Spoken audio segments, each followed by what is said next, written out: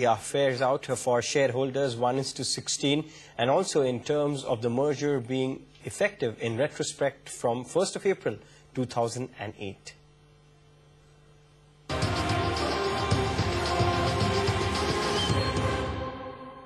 RIL and RPL, both stocks absolutely flat in trade, but is it likely to pan out that way over the next couple of days, weeks and months? Well, take a look at what is it in for the stocks. Both RIL and RPL stocks are seen trading in tandem in line with the swap ratio. 1 is to 16. So the value of RPL from here on will depend on how the market expects or behaves with the RIL stock. Well, the timeline is pretty simple. Shareholder approval by April 2009. Sometime in September, the merger is expected to be completed between both the entities. And of course, after that, a month or two down the line, the Reliance Petroleum stock is likely to be delisted. Uh, so it happens pretty uh, fast from here on in terms of the entire merger process. Well, post-merger, what happens? The combined entity will have more say in how the Sensex 30 really behaves. The weight right now is about 15.65. Well, that'll move up to about 16.72. A lot of index ones, perhaps, will also have a lot more holding of RIL automatically because the holding or perhaps the weight in the Sensex, the index goes up. CLSA is saying that RPL's value is close to about 92. Remember, the stock's trading close to about 75,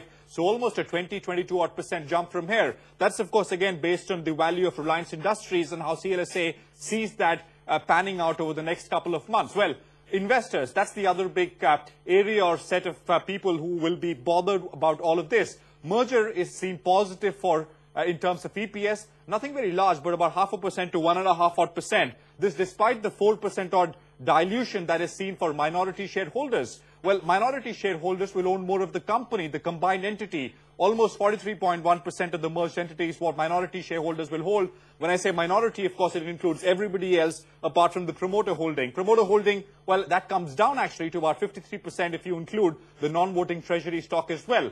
Well, in case the treasury or perhaps new treasury stock was issued, that would not have been the case. Promoter holding would have actually moved up from here. So uh, some of the key salient features of this entire merger process, both from a stock perspective and, of course, for investors.